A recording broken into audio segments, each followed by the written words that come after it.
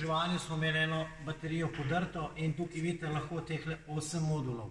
Razlika med 60 in pa 40 kW baterijo je v tem, da imamo, če je 60 kW baterija, imamo dodatno še 4 module. Okay, ti 4 moduli so nadgrajeni v tem sklopu, eh, v zadnjem delu, kjer so tudi eh, BMS-i, se pravi računalniki, ki upravljajo te module in pa sploh glavni računalnik, ki upravlja samo baterijo. Tako da te, teža teh baterij bomo imeli 300 kg je težka baterija eh, 40, eh, 40 kW in pa 400 kg je težka 60 kW baterija. S tem, da imamo na 40 192 celic pa 8 modulov, tukaj imamo pa 288 celic pa 12 modulov. Eh, baterije imamo hlaje, se pravi nič hlajeno, imamo hlajeno, imamo greti.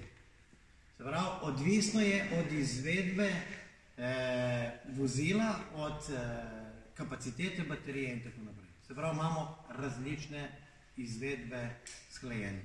Ti izdelki, ki ga je že povedal v, v štartu, da imamo predpripravo na polnjenje, pravi, kjer bomo pripravili baterijo v fazo, da jo lahko maksimalno polnimo, se že na sami cesti, ko izberete polnilnico, pripravlja.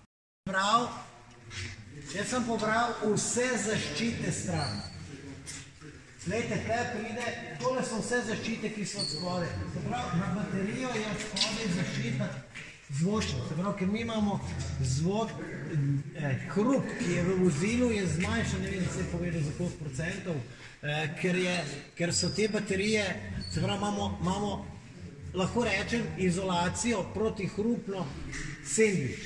Nad baterijo pride še ena zaščita, identična na ta način kot je tole. Se pravi, pod vozilom je vse skus nazaj zaščita. Tukaj vidite gretje hlajenje baterije.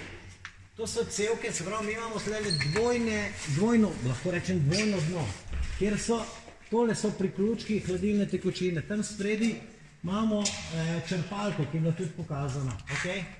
Tukaj so priključki, ker imamo polnjenje direktno, DC, ne gre nikjer druge kot od, od priključka direktno v baterijo. V bateriji je